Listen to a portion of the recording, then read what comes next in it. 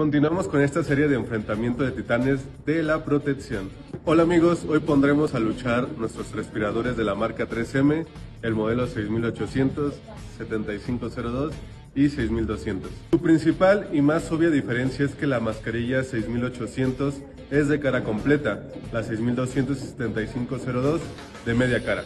Forma la 6800 y 6200 es del mismo material, que es elastómeros y termoplástico, y la 7502 es de silicona.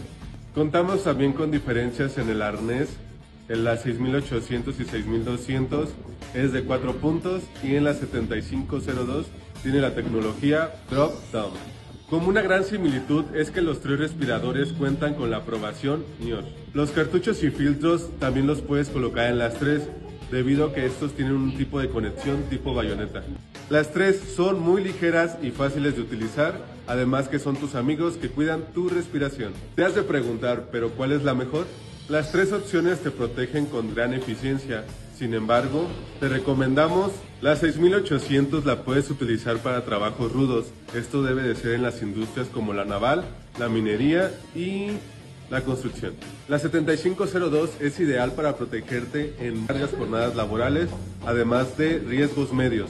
Esto es en las industrias farmacéutica, petroquímica y la industria de la manufactura. 6200 es ideal para jornadas de corta duración. Esto es para las industrias de producción de alimentos pintura y transporte. Ahora que ya viste nuestros versos, ¿qué otro producto te gustaría que pusiéramos a competir? Además de recordarte que todos nuestros productos los puedes encontrar en www.amigosafety.com.